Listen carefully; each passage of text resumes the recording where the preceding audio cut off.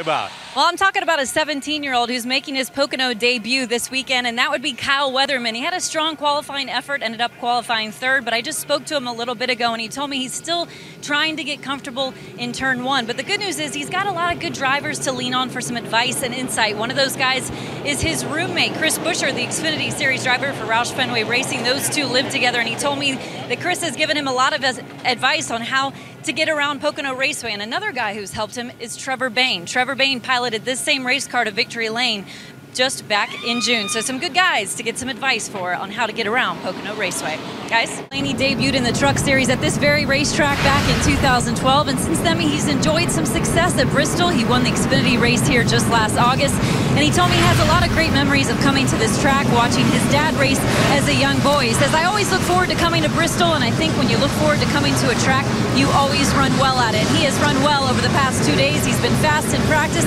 and he is starting second for tonight's race. Adam? What's going on with our two-time defending champion, Matt Crafton, six right now, Kaitlyn? Well, Adam, his crew chief Junior Joiner told me this is one of the racetracks they really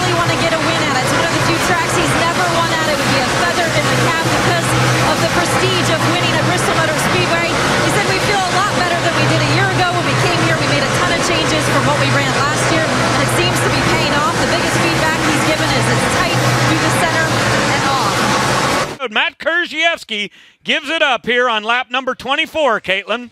That's right, Ray. The race leader is coming down pit road. I heard him asking his team what Cole Custer did on his last stop. So, similar to Cole, they've opted to do a two tire right side stop only for this 54 machine, guys. And Will Kimmel stays on the track that lap, Phil. He got 23 will be next, Kaitlyn. Yes, your series points leader is coming down pit road. He told his team it had a four wheel drift and no grip on that race car. And he also said it started out loose, but now it's ended up a little bit tight. And his crew chief responded saying you had more air in the left rear than you needed. So they're going to make it a four tires and fuel stop for the 23. Well, Vince, one driver who's been knocking on the door of a win is Daniel Suarez. He's coming off a career best finish of second just last weekend at Dover. And I chatted with Daniel earlier, and he says he's just getting more confident and confident with each race in these trucks. And his crew chief, Jerry Baxter, says he gives Kyle Busch, his team owner, a call every single week to get advice and insight on these various racetracks. Now, Daniel has raced here at Texas Motor Speedway in the Xfinity Series, but he was struggling to find balance in his truck yesterday during practice. But his crew chief Jerry told me that they ran simulation, they changed a ton, and it seems it has paid off. There is some good speed in this 51 truck. They are going to roll off third for tonight's race. Johnny? Time a year ago, Matt Crafton was a winner here at Texas Motor Speedway, and today he finds himself in victory lane once again, getting his third win of the season. Matt, walk us through that final restart and battling Daniel for the win. Uh, whew, them restarts for Harry. Uh, you spin the tires so bad on the restart before that. These guys building great trucks.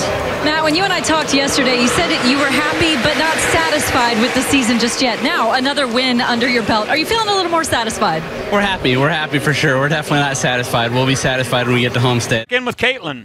Well, we were talking about how fast that pit stop was for the 54 team, and the reason that is is because he's using members of the 48 Sprint Cup team for Jimmie Johnson tire changers from that team on that car. So they're feeling pretty good. They've been chatting about the weather and Donald Trump on their radio right now, but in all seriousness, his crew chief said, "All right, on this restart, you've got to beat the double zero. That will be for the race, guys."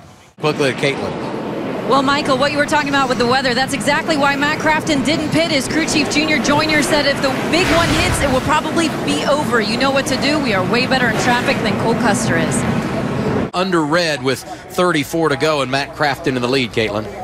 Well, Adam Jr. Joiner made the call to stay out because of weather that was coming, and now it looks like it might be a pretty good call for you. Yeah, uh, the guys on the box told me it was coming, so we were counting it down to Matt. Start things out with Kaitlyn Vincie. Good evening, Kaitlyn. Good evening, Adam. Well, one driver who is really looking forward to coming to Texas Motor Speedway is Cameron Hayley. Why? Because it's one of the few tracks on the schedule he has previous experience at in a truck. He finished 10th here in the fall, and really, ThorSport Racing as a whole has been very competitive here in Fort Worth. They've won three of the last six truck races here at Texas Motor Speedway. And Cameron also told me just this week he moved from Alberta, Canada to Sandusky, Ohio, where the team is based out of, to be closer to the team and more involved with the day-to-day operations conditions, which he thinks is going to make a big difference. He's starting eighth for tonight's race, but for more on one of his teammates, let's check in with Vince Welch. To Kaitlyn Vincie. Well, Adam, Matt is waiting patiently for maybe going racing again if we get this racetrack dry. I've been battling the rain all day. What's this day been like for you? Do you think we can get back racing? It's definitely been long. We fought the rain all day yesterday as well, and today it's been hit or miss. We've got most of it would be just fine. I, am Indian, so maybe I can do a little Indian rain dance when we're done here and, and keep the rain coming. So hopefully it will keep the green and red will come and pour, and we'll go celebrate later, maybe. Maybe we'll be seeing Matt Crafton's Indian rain dance later, guys.